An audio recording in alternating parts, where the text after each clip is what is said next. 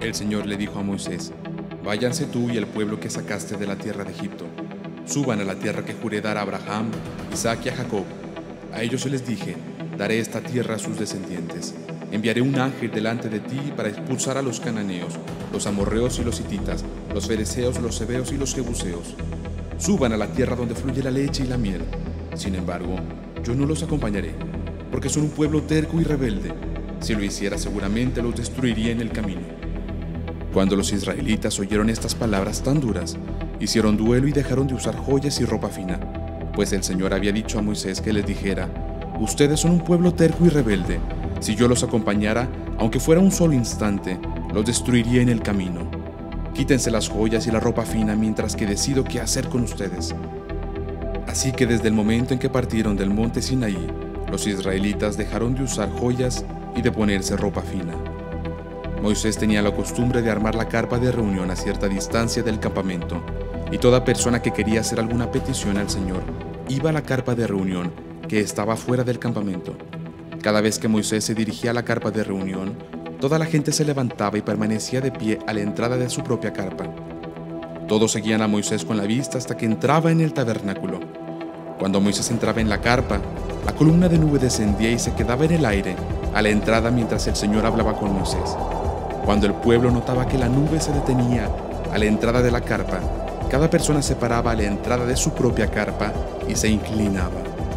Dentro de la carpa de reunión, el Señor hablaba con Moisés cara a cara, como cuando alguien habla con un amigo. Después, Moisés regresaba al campamento, mientras que su asistente, el joven Josué, hijo de Nun, permanecía en la carpa de reunión.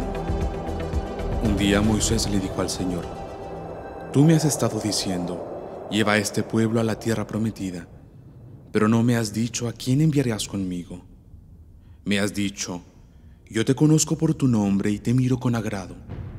Si es cierto, Señor, que me miras con buenos ojos, permíteme conocer tus caminos, para que pueda comprenderte más a fondo y siga gozando de tu favor. Por favor, recuerda que esta nación es tu propio pueblo el Señor le respondió, Yo mismo iré contigo, Moisés, y te daré descanso. Todo te saldrá bien. Entonces Moisés dijo, Si tú mismo no vienes con nosotros, no nos hagas salir de este lugar. ¿Cómo se sabrá que me miras con agrado a mí y a tu pueblo si no vienes con nosotros? Pues tu presencia con nosotros es la que nos separa a tu pueblo y a mí de todos los demás pueblos. El Señor le contestó a Moisés, Ciertamente haré lo que me pides, porque te miro con agrado y te conozco por tu nombre. Moisés le contestó, Te suplico que me muestres tu gloriosa presencia. Y el Señor le respondió, Haré pasar delante de ti toda mi bondad y delante de ti proclamaré mi nombre. Yo soy el Eterno pues tendré misericordia de quien yo quiera tener misericordia y mostraré compasión con quien yo quiera tener compasión. Sin embargo, no podrás verme directamente al rostro, porque nadie puede verme y seguir con vida. Párate cerca de mí, sobre esta roca. Cuando pase mi gloriosa presencia, te esconderé en la grieta de la roca y te cubriré con mi mano hasta que yo haya pasado. Después retiraré la mano y dejaré que me veas por las espaldas, pero no se verá mi rostro.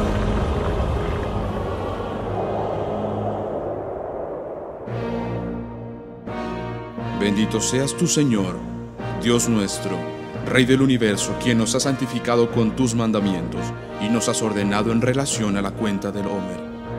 Estamos en el día 15 de la cuenta del Homer.